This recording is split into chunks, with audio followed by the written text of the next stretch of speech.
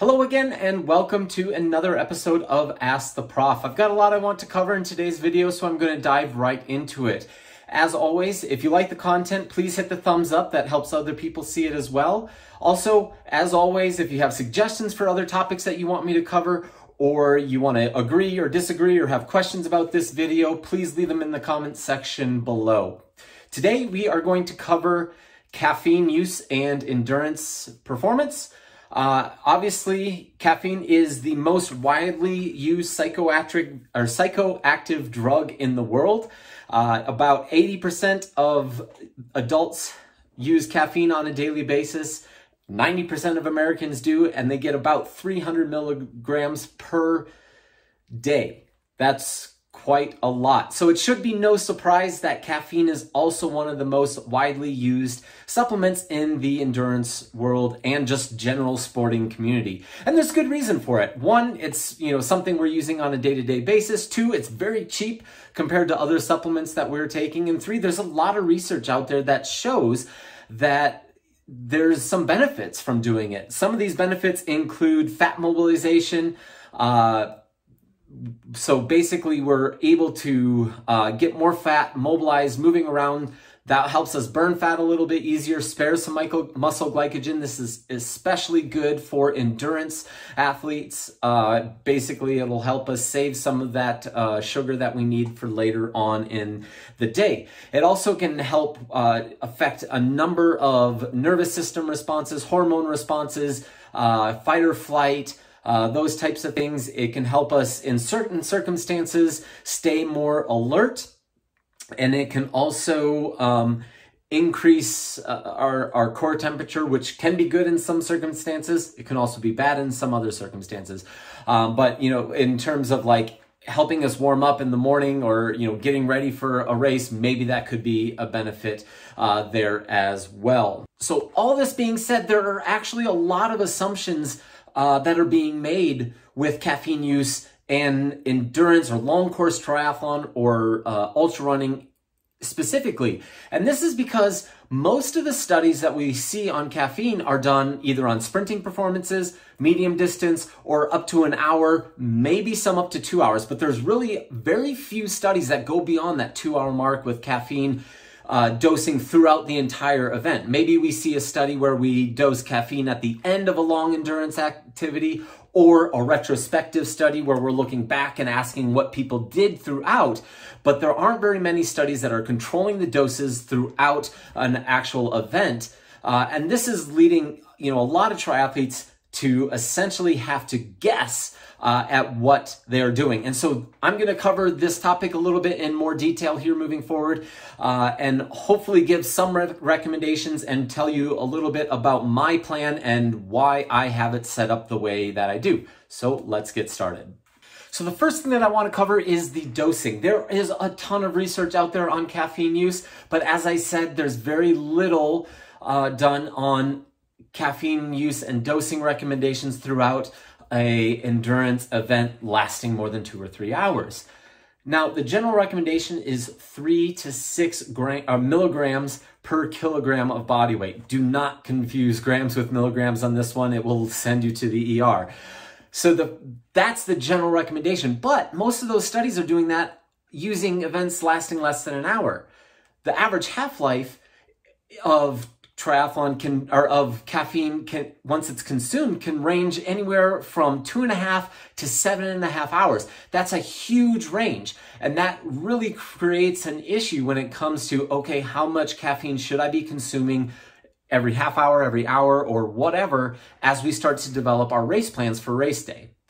The typical triathlon mantra more is better tends to apply to how most people approach caffeine. They're taking a ton and thinking that oh as they start to get fatigued or as they start to uh, get deeper in the race they need to taking be taking in more and more and more. Well unfortunately that's really not the case. And in many studies it suggests that some is okay or can be good but once you get to a certain level you see no additional performance improvements beyond that and you actually might see performance detriments beyond that number. And so that really creates a lot of issues with setting up your specific plan uh, for your race. So to put this, some numbers in this and to put this into context, most studies out there are using doses of 200 to 400 milligrams for the event, right? But these events are less than an hour long. So does that mean that we need to be taking in 200 milligrams per hour? Personally, I say absolutely not to that, but there's really not that guidance in there uh, for recommended hourly dosage. And there's good reason for that. One is because of the costs associated with actually doing a study that would help us see that. Being having a controlled multi-hour study with multi-athletes uh, would be quite time consuming and quite costly and, and very difficult. Another and probably more uh, important reason that we don't have that dosage or set dosage or set dosage recommendations is because there's such a wide range in the rate at which we metabolize caffeine. There are slow, medium, and fast metabolizers, right? And this is actually something that is linked to genetics. So you are born being able to metabolize caffeine either slow, medium, or fast you can actually, this is one of those things that the genetic testing like 23andMe can actually do for you. This is absolutely not an endorsement for that company, um, but it is something that if you are going to be using caffeine and really trying to dial in your race plan, spending the whatever $100 to get that test done might actually help you dial this in and really fine tune your own personal plan. Not necessary, something I found value in and did myself personally. Again, uh, there's a ton of other uh, companies out there that can help you with this. Uh, so you know, pick whatever one uh, suits your fancy if that if that's the route that you want to go. A 2005 study done actually at the Ironman World Championships uh, surveyed a number or a number of triathletes that were at the event, and they found that basically most triathletes don't know how many milligrams of caffeine per body uh, kilogram body weight they're taking per hour. They don't know the anticipated benefits that they're supposed to get. They're basically known that they've seen it in advertising. They've heard it from their friends and they've seen, you know, other pros are taking this much. So that's the amount that they should be taking.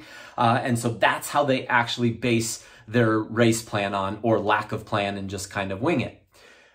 In my opinion, most triathletes are taking too much caffeine throughout the race. This is the same for both amateurs and pros alike. All right, so a little bit of caffeine can certainly be beneficial. Too much can actually be very detrimental. All right, we'll see, you know, things like upset stomach, irritability, loss of mental focus. There's some research that suggests thermoregulation or the, you know, your sweat rate goes up, your heart rate goes up, things like that. That's a little bit more uh, individualized, but there are studies that have, you know, kind of been on both sides of that. So there can be some negative effects there as well right? So a little bit can be good, but too much can easily make it uh, so it's harder to focus, harder to really dig deep and dial in and go to that dark place uh, that you have to go, especially at the end of the race.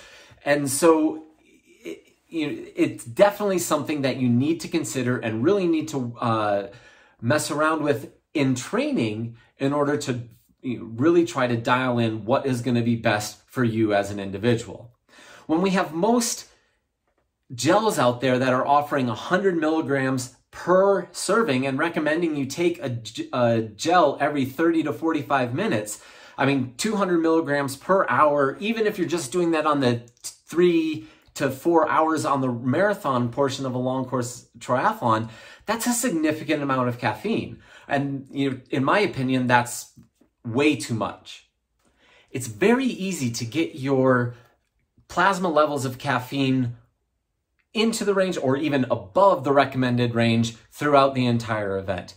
Furthermore, studies have recommended or has suggested that there's really not much of a difference between regular caffeine users and those who just use caffeine on race day. And also, they've shown that there's really no need to taper off of caffeine leading into event that that doesn't actually provide make it more potent more effective on race day. So thankfully for me i don't have to skip my cup of coffee every morning leading into a race. So my personal takeaway is the amount of caffeine that you should use should be the minimum. You should err on the not quite enough because the the ease it is to go over the hump or to go too far and the negative effects that that can have. So the studies that are out there are showing that it doesn't really take that much in order to get to the recommended ranges that you need, especially if you're consuming caffeine throughout a, you know, a full a half Ironman or a, a full Ironman distance event. So for me personally, I fall into the moderate or the medium metabolizer of caffeine. Uh, that's what the testing has shown me.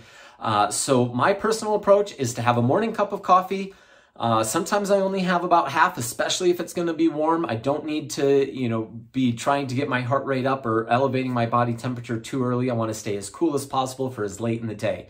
For a 70.3, I'll have no other caffeine until the bike. On the bike, I might have 25-ish milligrams of caffeine per hour on the bike. That is pretty low compared to what any other, uh, you know, any of my competitors are doing. But that's where uh, my training and what I've messed around with, that's where it, I it shows that I uh, perform the best.